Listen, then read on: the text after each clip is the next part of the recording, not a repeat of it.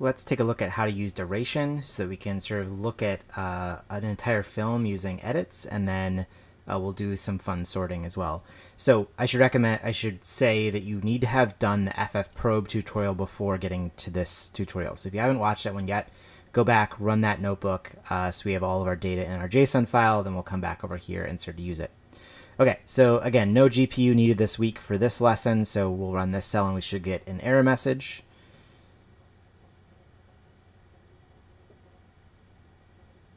There it is, command not found. We'll run this to connect to our Google Drive.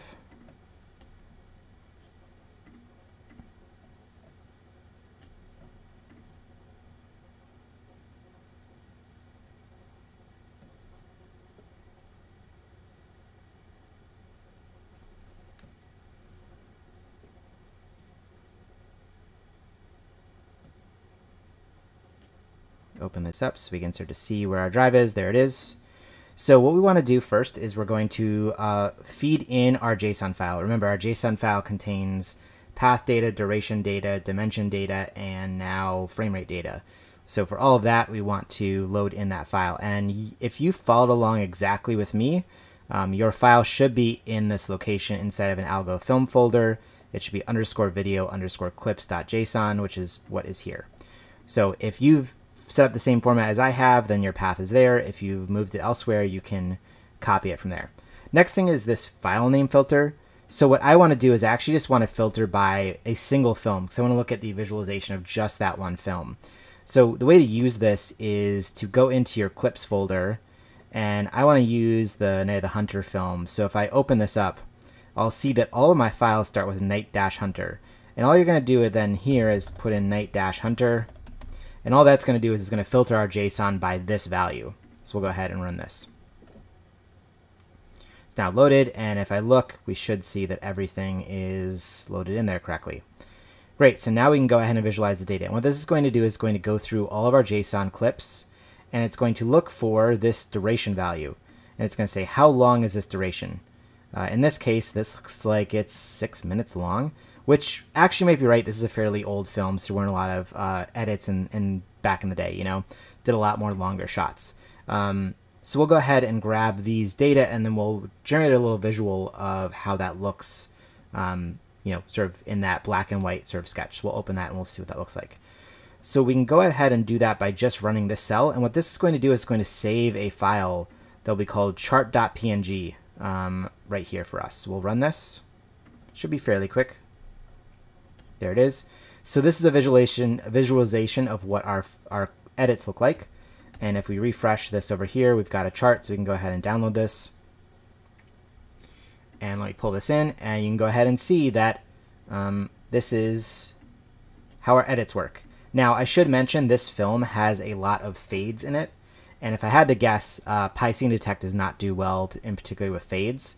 So this might not really be super accurate for the for where the clips and edits are, but it's more of the idea of how things work, right? So um, what I kind of love about this is you can see, you know, it's pretty even throughout. Now this is a movie I think from either the late 50s, early 60s. Um, so you're not going to see a lot of edits. If you remember in my lecture, you saw Pitch Black, which is like this crazy action film. There was like an edit, like literally like it, it looked more like a, a stripe than it did like this with blocks. But you do kind of see that at the end here, there are a bunch of edits. And I would, if I had to guess, this last piece would maybe be, um, you know, the credits or something. So there may in fact be a bunch of little action sequences here or even here. Um, so again, this is just a basic idea of what our film looks like. It's not necessarily accurate because of those fades and other things, but it gives us a little bit of a sense of how the film is edited or how PySceneDetect at least sees the edits. So that's that part. You can go ahead and run this against different films. So for example, I do have the other film in here, which was in Algo Film inside of Clips. I do have uh, Pitch Black. And if I open this up, I'll see that my pattern for my file names is uh, pitch dash black. Now, I should mention this is also um, case sensitive, so make sure it matches exactly where it might not find your film.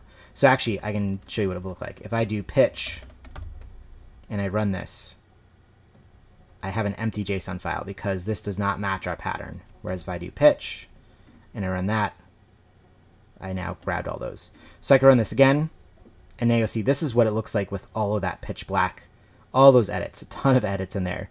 Um, kind of a crazy film. So good example of sort of the difference between those two. Uh, next, let's take a look at how we want to sort by duration. So I'm going to actually switch this back to Night Hunter, grab those clips, and we'll scroll down here and we'll see that we can now sort by duration. What this is going to do is going to take our data that we've just processed or grabbed, and it's going to now sort it by duration. And there's sort of two options here. One is we can start with the longest first and then get shorter, or we can go from shortest to longest. Either one of those is kind of up to what you want to do here. Maybe you want, with an action film, um, maybe you want to build up the action, or in the case of maybe what Douglas was doing with the ski scenes, you want to build up to like these long, dramatic, you know, slow mo movements. Um, so either way, you can run this. We'll go ahead and run this. So this is shortest to longest. Now this cell, if I run this cell, it should point, it should print out all of the uh, durations in order from shortest to longest. You'll see here the shortest is 13 seconds. The longest is, wow, I don't even know. That's like, what, a 13 minute? What is 997 divided by 60? 16 minutes. Um, I don't know if that's accurate. I kind of doubt that there is a 16 minute shot inside of Night, Night of the Hunter, but maybe I'm wrong. Uh, it's been a minute since I've looked at that. But again, probably not the most accurate. There's probably reasons for why this particular film is not super accurate. Maybe it's because black and white. Maybe it's because there's lots of fades in it, whatever. But um, you will see this is sorted now from shortest to longest. If I switch this to longest to shortest and run this again, and then spit out these dimensions, I should see it in reverse. So it should be 987 down to 13 seconds. So that is how to order these. And then the last thing we're going to do is we're actually just going to concatenate them all and turn them into a clip, a single clip where it goes from short to long. Um, in this case, longest to shortest. Um, now I should mention this is set up to only work right now with a single film. Um, we could do this across all of our films. And then what we need to do is actually, uh, we're going to need to edit this cell. So actually, maybe what I'll do is I'll add to the cell um, in what, when you come back to this, you'll see there's a different cell here. And it'll be set up to either do that padding thing, which we talked about for, uh, wait, we haven't covered dimensions yet. Oh, we'll look at the next, uh, in the next uh, tutorial, we'll look at dimensions and we'll look at how to actually change that. So for now, we'll just make sure, I would say like, just make sure you only work with one film right now.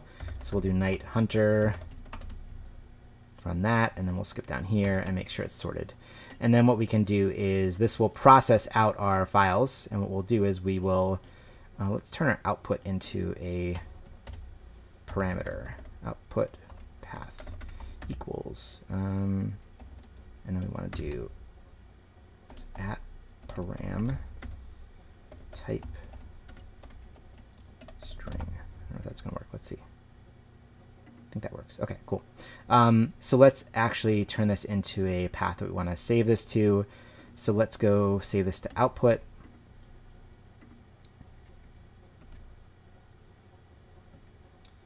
And hmm, why is that not working like that?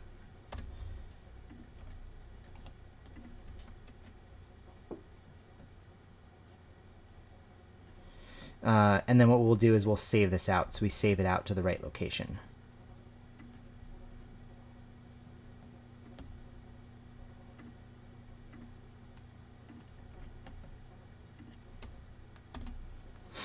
This is not the right uh, setup. I'll fix this for us. But essentially what will happen is we'll be able to set our output path and then we'll save our file there. So um, when you run this then, it will then concatenate all the files and it will spit out a uh, sequence that is now reordered. Um, now, obviously, this is an hour and a half long film. I probably don't want to do that because it's going to be going to take a while to process that. Um, for this demo, at least, you could do it. It probably will take you know 20, 30 minutes to actually process that, um, but it will generate a pretty cool little effect. So go ahead and run that. Um, I'll clamp this notebook to make sure it works for us. Uh, but yeah, this is how to use durations. Um, and in the next video, we'll actually look at how to use dimensions to pad and crop our film, and maybe uh, I don't know, maybe in the middle of this week, I'll actually update this notebook to contain uh, that potential option. And then what that'll allow us to do is allow us to actually sort over all of our video clips. Um, but to start with, let's just look at one piece and then we'll go from there. So um, we'll go over to look at dimensions next.